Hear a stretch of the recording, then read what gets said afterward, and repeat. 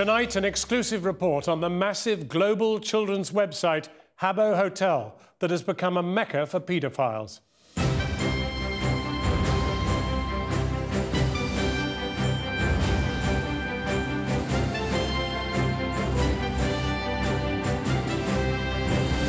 A children's website accessed by a quarter of a billion users globally. Even the experts feel a sense of moral panic at what goes on there. If I was the parent of an 11 year old girl on a chat room like this, I'd want there to be a moral panic. What I've just seen makes me think this is a dangerous place for youngsters to be. Good evening. It is every parent's terror that their internet literate child will arrive in a make believe children's web world that is so unsafe that he or she can be propositioned for sex by a paedophile within four minutes. Tonight, we reveal that in more than 50 visits to the kids' site Habbo Hotel, posing as an 11 year old girl, we were propositioned every time. As a result of our discoveries, a major investor has already removed his 13% holding in the company. It boasts over 250 million users in more than 150 countries. 300,000 of the youngsters who access it are here in Britain. Now, Channel 4 News can reveal that the children's online gaming site Habbo Hotel is inhabited by paedophiles. It amounts, says one critic, to a children's brothel. Investigating the site over a period of months, this program has discovered that users, some as young as nine, are bombarded by explicit chat and regularly propositioned to strip and perform sexual acts on webcams. Following our revelations, one of the company's biggest multi million pound investors has pulled out. And be warned, Pádraig O'Brien's report contains sexually explicit and offensive language.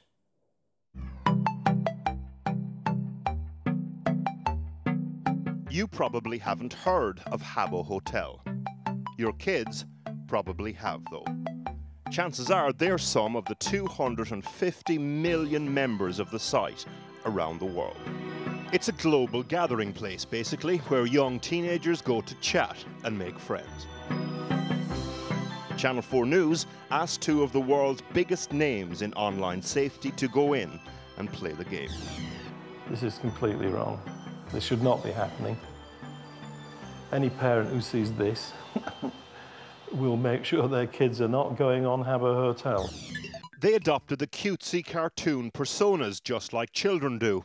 They heard and saw things there just like children do. It was unbelievable, honestly. Hadn't it was just it was like I just couldn't believe what I saw. According to its owners, it's the largest online community for teenagers in the world. There are nearly 300,000 users in the UK, and it makes millions for its owners, a Finnish company called Sulake. It's a giant internet chat room, basically. You can adopt a persona or avatar and wander around from room to room talking to other avatars. You can create your own room. How does the company make its money? You can purchase furniture to put in your room. Habbo gaming cards are available to buy for a tenner in WH Smith's and Tesco's. The card gives you credit to spend on the site. It has bright lights, teddy bears, balloons, and it has extreme violent sexual chat. It was people saying that they were going to do things to other people or to themselves. Our producer spent two months playing the game. She described herself on the site as an 11 year old. This was her first exchange. People were having sex with me without my permission or, you know, doing things to me without my permission. So both in public, you know, men would come up to me and say that they were doing all these sorts of things to me in my body without me asking. But So the little avatar would walk up to your avatar and say yeah, and say, "Hello, I'm grabbing your breasts. I'm doing this to you. I'm having sex with you and now I'm leaving you." We can't broadcast the more violent sexual chat. Within minutes of that first exchange, Rachel was being asked to check out of Habbo Hotel and make direct one-to-one contact. Initially, do you have a webcam? Are you on MSN? Are you on Skype? I was being asked to strip, to get fully naked. What would I do on a webcam? Would I send photos of myself over email? She played the game 50 times in total. This was her experience every time. So, John, I'm going to log in to Habbo Hotel. My turn. I was joined by John Carr, though. He advises the UK government and the European Union on online safety. For both of us, it was our first time on the site. In we go. Go get new friends. Friend request from Dirty Boy. Let's see what he's got to say. Can I ask you what your body's like? Yeah. Well, a moderator should be jumping in about now because that's it's not hard to see which way this is going. The game says you have to be 13 to play, but younger children have told us they use it too. So, for the purposes of this, we'll, we'll say that I'm 11, okay? Now, this is worrying, this next message, because he says, Do you want to chat on MSN or Skype? 11 year old, MSN, Skype, dirty boy. You don't need to be Einstein to work out what this is about. There should be the equivalent of the virtual fire brigade jumping in on this, and it's not happening. And then he immediately comes back, You like older guys? Question mark. This is completely wrong. This should not be happening. Are we in danger, though, of whipping up something of a sort of moral panic about this sort of thing?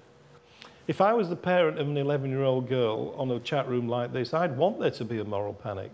What I've just seen makes me think this is a dangerous place for youngsters to be.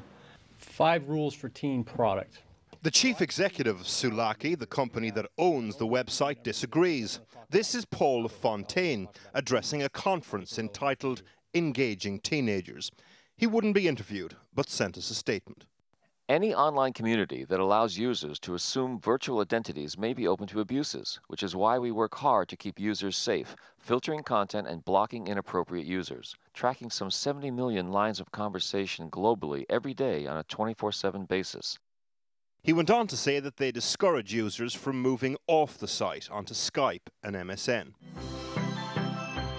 Maybe the inappropriate chat we came across is just young teenage fantasists getting cheap kicks. But maybe it's not. Matthew Leonard pretended to be a teenager. He befriended a girl on Habbo Hotel.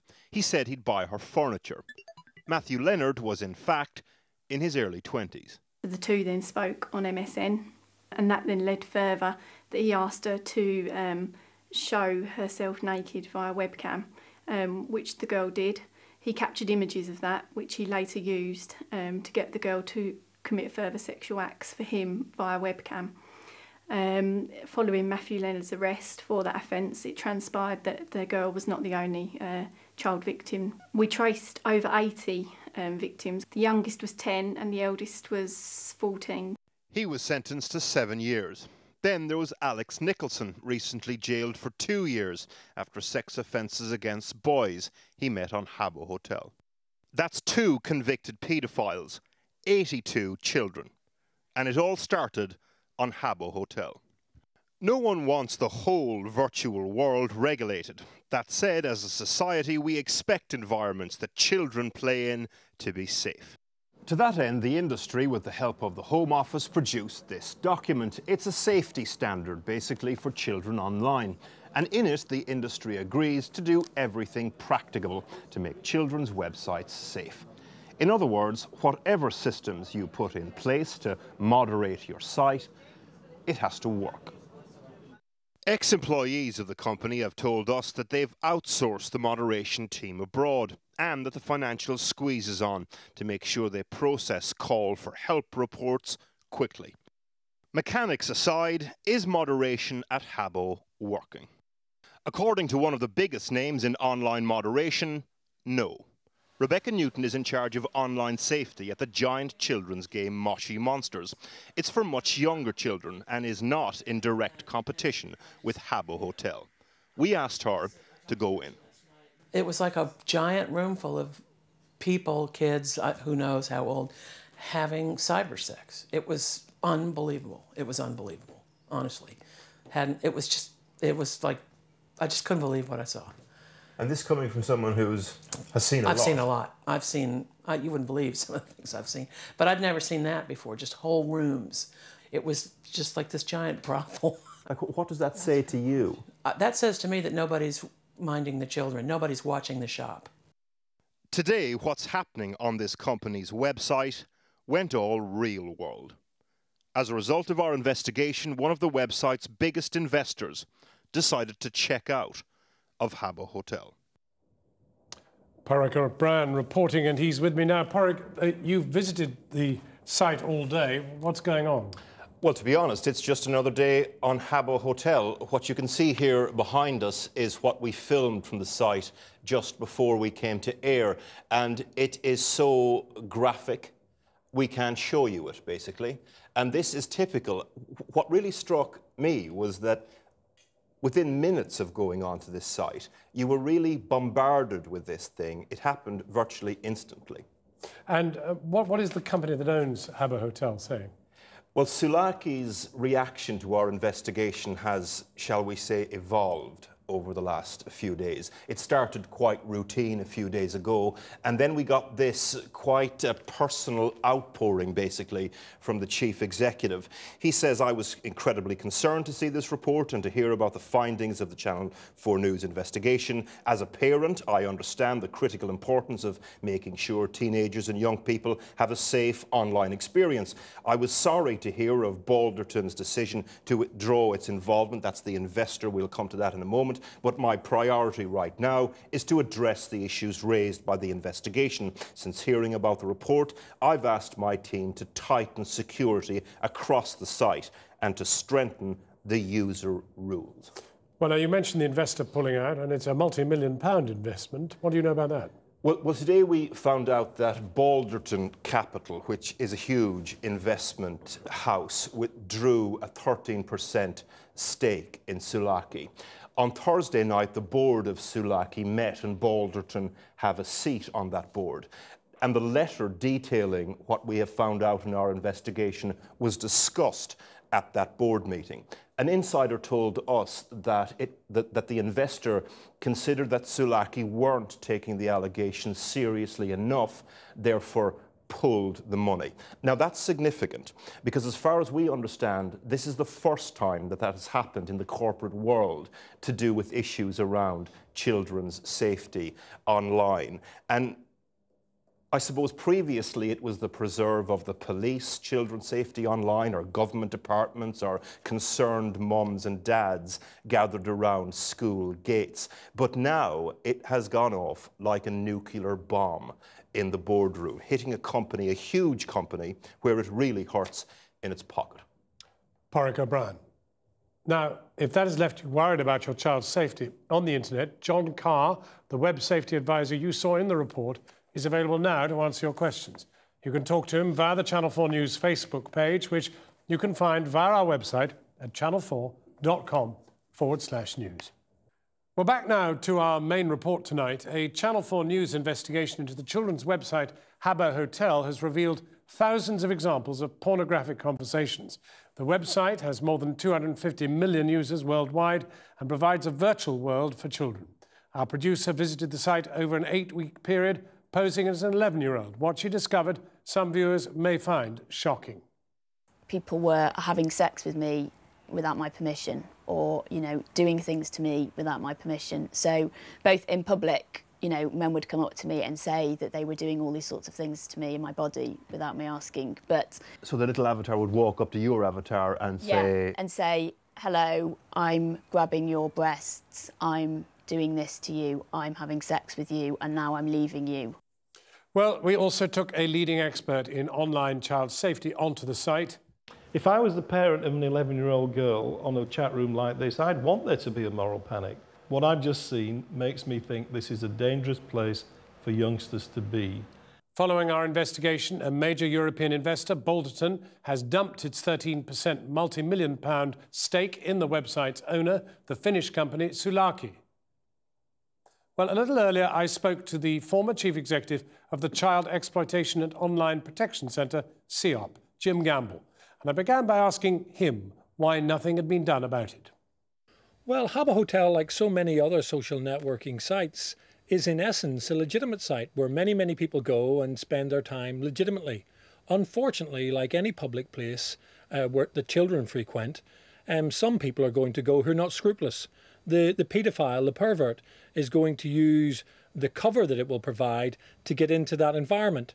Now, the issue for me has always been Um, how do you police those environments sensibly and sensitively, but most of all effectively?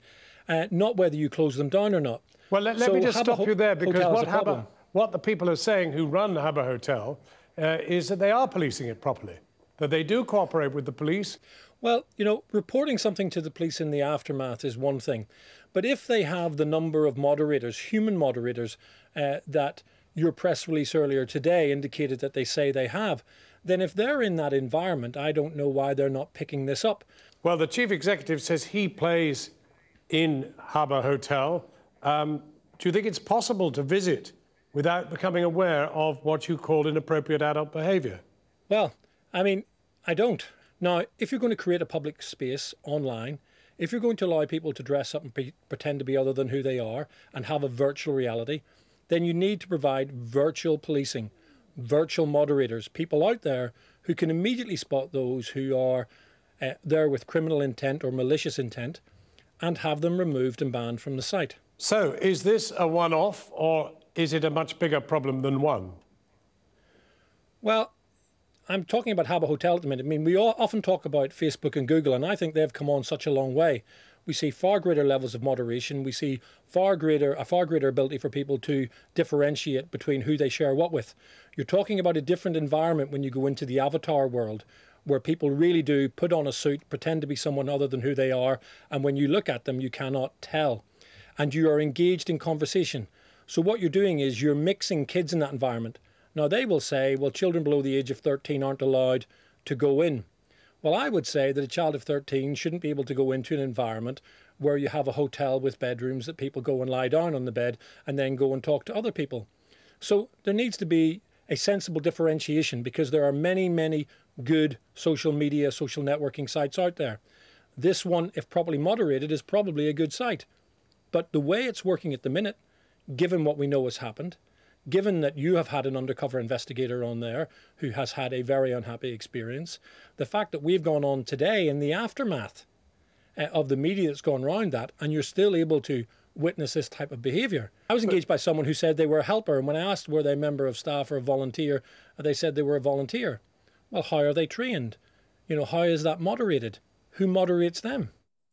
Jim Gamble talking to us earlier. And just a reminder that if you're worried about your child's safety on the internet, John Carr, a web safety advisor, is available now to answer your questions. You can talk to him on the Channel 4 News Facebook page, which you can find via our website at channel4.com forward slash news. Tonight's main news the programme has revealed that Habbo Hotel online gaming site for teenagers is exposing children to the threat of paedophiles. Don't forget, you can reach us both on Twitter. There's been a massive conversation about Habbo Hotel on Twitter throughout the programme, uh, and there's much more online on the website, channel4.com forward slash news. Well, we're back tomorrow at 7 o'clock. Until then, from Krishnan and from me, that's Channel 4 News. Good evening